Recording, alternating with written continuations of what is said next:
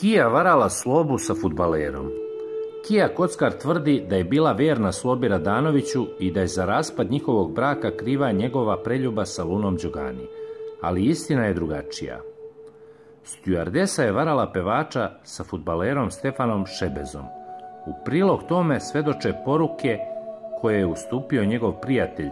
Ime i prezime je poznato, iz kojih se vidi da su njih dvoje imali romansu. Znam da su se Stefan i Kija viđali, ali me to nije zanimalo. Nažalost, nas dvojica smo se posvađali pred novu godinu i više se ne družimo. Od njega sam kupio mobilni telefon u kome su poruke koje su njih dvoje razmenjivali, rekao je Šebezov drug. I zaista je tako. Utvrdili smo da je broj s kojeg su 13. decembra 2016. godine poslate poruke Stefanu zaista Kin. Gde si srcko? Ja sletela. Čim se prikačim na net, pišem na Whatsapp. Napisala je Kija. A sportista joj je uzvratio. Ja sam na gajbi, odmaram sa puta. Raspadam se. Kako si mi ti? Jel sam ti nedostajao, kao što si ti meni?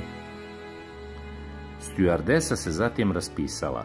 Let kao i svaki drugi, smarači, katastrofa. Naravno da mi nedostaješ jedva čekam da dođem u Beograd da se vidimo. Srcko moj. Sudeći po futbolerovoj sljedećoj poruci, dugo se nisu vidjeli.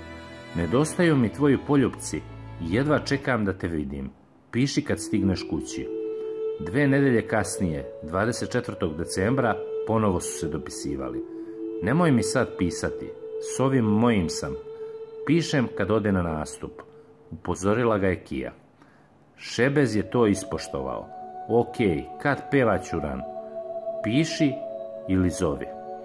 Nakon toga 27. januara 2017.